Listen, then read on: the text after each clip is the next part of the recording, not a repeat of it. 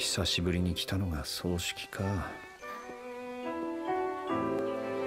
なんか庭に女の子いたけど。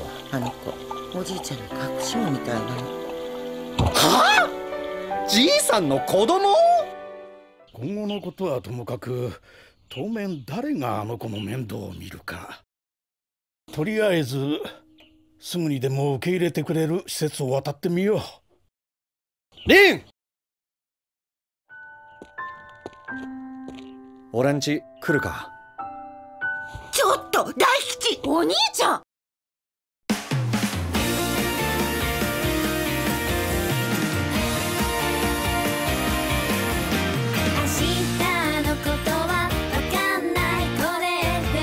大体子供を育てるのがどれだけ大変か分かってるの大吉早く起きて。私遅刻しちゃうよ